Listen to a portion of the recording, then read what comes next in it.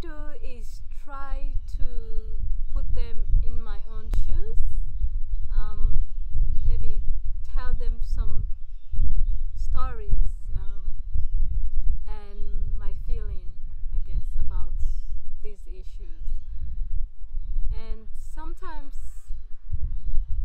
I try to be realistic as well. I try to be realistic with what I say, and also in relation to the pers- the person's understanding of racism. But usually, what I what I would tell somebody is that I mean, who doesn't understand the concept of racism or cou- who could not identify with it, I would just tell them that imagine you were this um, person from this background and you're being you know to- told off by you know somebody else from, from another background